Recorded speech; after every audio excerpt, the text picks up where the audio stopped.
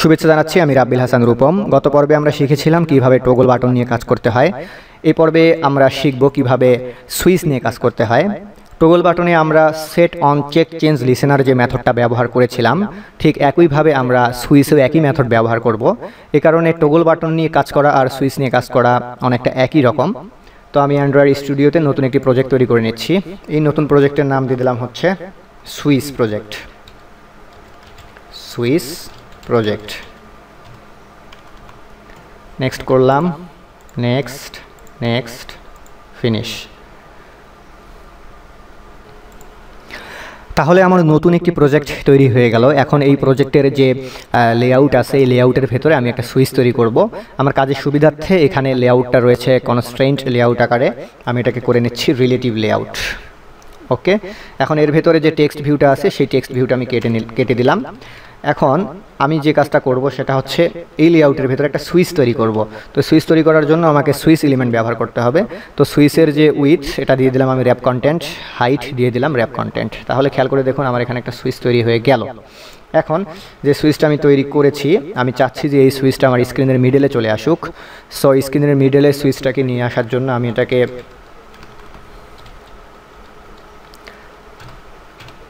Centre in parent করে দিলাম, তাহলে স্ক্রিনের মিডেলে আমার সুইচটা চলে আসলো। আর এই সুইচের জন্য আমি একটা আইডি দিয়ে দিলাম, সেই আইডির নাম দিয়ে দিলাম হচ্ছে আমি সুইচ আইডি ওকে? দেন আমি চাচ্ছি যে এই সুইচটাকে ক্লিক করলে উপরে কোন একটা টেক্সট থাকবে, সেই টেক্সটের মধ্যে একটা পরিবর্তন দেখা যাবে। এ কারণে আমি একটা টেক্সট ভিউ নিয়ে নিচ্ছি। টেক্সট ভিউ নিলাম, এর উইথ করে দিলাম র্যাপ কন্টেন্ট হাইড করে দিলাম র্যাপ কন্টেন্ট এখন এই যে টেক্সট ভিউটা আমি নিয়েছি, এই টেক্সট ভিউয়ের ভিতরে আমি টেক্সট দিয়ে দিলাম কিছু। তো বাই ডিফল্ট অবস্থায় সুইচটা যখন প্রথমে থাকে, তখন সুইচটা অফ অবস্থায় থাকে। সো এখানে আমি বাই ডিফল্ট অবস্থায় যেহেতু সুইচটা অফ অবস্থায় থাকে, সেহেতু প্রথমেই যে টেক্সটটা আমার দেখাবে, সেই টেক্সটটা আমি এখানে লিখে নিলাম যে হচ্ছে ওয়াইফাই অফ ওকে সো যে টেক্সট আমি লিখে নিলাম, আমি চাচ্ছি যে এই টেক্সটটা আমার যেন ঠিক সুইচের উপরেই চলে আসে। তো সুইচের উপরে নিয়ে আসার জন্য এটাকে প্রথমে আমি সেন্টারে নিয়ে গেলাম। সেন্টারে নিয়ে যাওয়ার পর এটাকে আমি লেআউট অ্যাভভ করে দিচ্ছি। লেআউট অ্যাভভ সুইচ। তাহলে ঠিক সুইচের উপরে আমার লেখাটা চলে গেল। এখন আমি চাচ্ছি যে এই টেক্সটটাকে আমি একটু বড় করে দেব। সো টেক্সট সাইজ করে দিলাম হচ্ছে আমি আঠারো ডিপি। ওকে এরপর আমি চাচ্ছি টেক্সটের কালারটা চেঞ্জ করে দেব। সো টেক্সট কালার আমি দিয়ে দিলাম। এখান থেকে কালার প্রাইমারি ডার্ক ফাইন এখন এই টেক্সট ভিউয়ের জন্য আমি একটা আইডি দিয়ে দিচ্ছি। এই টেক্সট ভিউয়ের জন্য যে আইডিটা দিলাম আমি, সেই আইডিটার নামও দিয়ে দিলাম হচ্ছে আমি টেক্সট ওকে তাহলে আমার মোটামুটি লেআউট ফাইল তৈরি হয়ে গেল। এখন আমাকে যে কাজটা করতে হবে, এই যে টেক্সট ভিউটা আমি তৈরি করেছি এবং এই যে সুইচটা তৈরি করেছি, এই সুইচ এবং টেক্সট ভিউটাকে আমাকে মেইন অ্যাক্টিভিটির ভেতরে প্রথমে যুক্ত করে দিতে হবে। তো মেইন অ্যাক্টিভিটির ভেতরে যুক্ত করার জন্য প্রথমে আমি একটা সুইস উইজেট নিয়ে নিচ্ছি।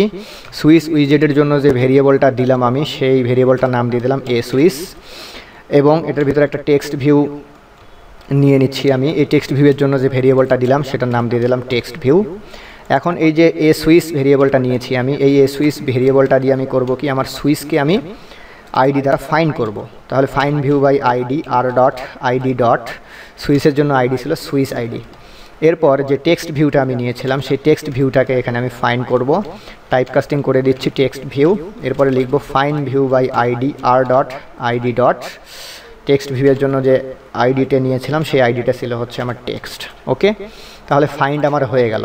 এখন আমি চাচ্ছি যে এই যে সুইচটা আছে, এই সুইচটার ভেতরে আমি অ্যাকশন তৈরি করব। তো এই অবস্থায় যদি আমার অ্যাপটাকে আমি রান করি, তাহলে এই সুইচে কিন্তু কোনো অ্যাকশন নাই। এ কারণে হবে কি, সুইচটা অন অফ করা যাবে ঠিকই, কিন্তু সুইচটা অন অফ করার কারণে কোনো কিছু হবে না, কোনো অ্যাকশন হবে না। তো আমি চাচ্ছি, যখন সুইচটা আমি অন অফ করব, তখন একটা অ্যাকশন হবে, আর যে অ্যাকশনের কারণে উপরে যে টেক্সট আছে, এই টেক্সটটা বারবার পরিবর্তন হবে। সুইচটা অফ করলে এই টেক্সটটা একবার পরিবর্তন হবে, আবার সুইচ অন করলে টেক্সটটা অন্যরকমভাবে পরিবর্তন হয়ে যাবে। তো আমি যদি সেই কাজটা করতে চাই, তাহলে অবশ্যই এই সুইচে আমাকে অ্যাকশন দেওয়ার জন্য এই সুইচের মধ্যে আমাকে মেথড সেট করতে হবে। তো এই অবস্থায় আমি এটাকে রান করছি। এখন আমি সুইচটা দেখতে পাবো। সুইচটা অন অফ হবে ঠিকই, এই অবস্থায় কিন্তু কোনো অ্যাকশন থাকবে না। কেননা সুইচে কোনো অ্যাকশন ঘটানোর জন্য কোনো মেথড এখনও আমরা অ্যাড করিনি। তাহলে দেখতে পাচ্ছেন আমার গ্রেডাল বিল্ড রানিং একটু সময়ের মধ্যেই অ্যাপ্লিকেশনটা আমার ইমুলেটরের ভিতরে রান হবে।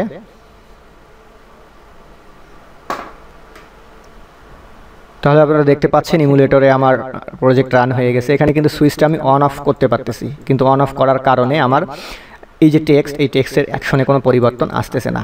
তো কেন আসতেছে না? কারণ এই টেক্সটে এখন আমি কোনো ম্যাথড অ্যাপ্লাই করিনি।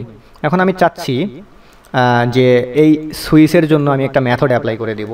তো সুইসে যদি আমরা ক্লিক লিসেনার যুক্ত করতে চাই, তাহলে সুইসের যে ক্লিক লিসেনারটা কাজ করে, সেটা অ্যাজ লাইক অ্যাজ টোগল বাটনের মতো। টোগল বাটনে যেরকম আমরা set on check change listener add করেছিলাম, একইভাবে সুইসেও সেম মেথডটাই অ্যাড করব। অ্যাড করার পরে নতুন একটা অবজেক্ট তৈরি করব। কার অবজেক্ট তৈরি করব? কম্পাউন্ড বাটনের। যখনই আমরা কম্পাউন্ড বাটনের অবজেক্ট তৈরি করতে যাব, তখন টোটাল কোডটাই আমার কি হয়ে যাবে? এখানে অটোমেটিক লেখা হয়ে যাবে। এখন এখানে খেয়াল করে দেখেন এই মেথডে এই মেথডের ভিতরে একটা বুলিয়ান একটা ইয়া আছে প্যারামিটার আছে, যে বুলিয়ান প্যারামিটারটা বলা আছে বি তো বুলিয়ান প্যারামিটার এখানে বি বলা আছে মানে হচ্ছে যখন কন্ডিশন হবে বি তখন সুইচ অন অবস্থায় থাকবে আর অন্যথায় সুইচ অফ অবস্থায় থাকবে। অর্থাৎ বুলিয়ানের বি দিয়ে বোঝানো হচ্ছে যে কন্ডিশন ওয়ান মানে সুইচ অন করা অবস্থায় যদি থাকে তাহলে বি তাহলে এই কন্ডিশনটাকে কন্ট্রোল করার জন্য আমি ইফ কন্ডিশন ব্যবহার করছি, যে ইফ বি মানে সুইচ যদি অন থাকে, তাহলে একটা ঘটনা ঘটবে। আর অন্যথায় যদি সুইচ অফ থাকে, ইলস, অন্যথায় আর একটা ঘটনা ঘটবে। তো আমি চাচ্ছি যে সুইচ যখন ওয়ান থাকবে, তখন যে আমার টেক্সট ভিউটা আছে, সেই টেক্সট ভিউয়ের ভিতরে নতুন একটা টেক্সট সেট করব আমি। সো এটার মধ্যে টেক্সট সেট টেক্সট দিয়ে দিলাম যে হচ্ছে ওয়াইফাই ইজ ওয়ান ওকে আর যখন এই কন্ডিশন বি ফুলফিল করবে না মানে সুইচ যখন অফ থাকবে, তখন একটা টেক্সট লেখা উঠবে। সেই টেক্সটটা লেখা উঠবে হচ্ছে ওয়াইফাই ইজ অফ ওকে তাহলে আমার প্রজেক্ট রেডি আবারও রান করছি আমি ইমুলেটরে খেয়াল করে দেখুন, এখন যখন আমি সুইচটা বাই ডিফল্ট অবস্থায় রান হলো, তখন সুইচটা অফ অবস্থায় আছে। যখন আমি সুইচটা অন করতেছি, উপরে টেক্সট আমার পরিবর্তন হয়ে গিয়ে হলো ওয়াইফাই ইজ ওয়ান আবার যখন টেক্সট আমি সুইচ যখন বন্ধ করে দিলাম, তখন উপরে টেক্সট পরিবর্তন হয়ে গেল ওয়াইফাই ইজ অফ তো এইভাবে আমরা সুইচে অ্যাকশন অ্যাড করে এই সুইচ দিয়ে কাজ করতে পারি।